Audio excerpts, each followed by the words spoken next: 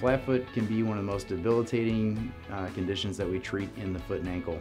It leads to a stretch on the posterior tibial tendon, which is the most powerful plantar flexor in the foot. The arch begins to collapse, and when it collapses, the bones are now in alignment that is not proper, and the joints become arthritic, and the longer the condition exists, the more painful it becomes. Here at the Foot and Ankle Center, we're fortunate to have a weight-bearing CT scan and an in-office extremity MRI, which really help us to uh, evaluate the patient's biomechanics and come up with a good treatment plan. Most often we're able to make the patient a custom orthotic or a custom brace that allows them to return to their normal lifestyle without the pain. In certain cases, however, the, the problem is bad enough that the brace isn't working and we have to resort to surgery.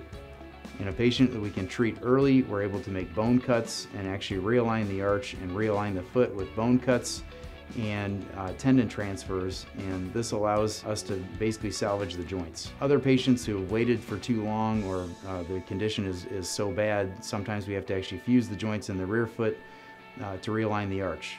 But the good news is, once the joint is fused and realigned, the patients are able to walk without pain and return to normal lifestyles.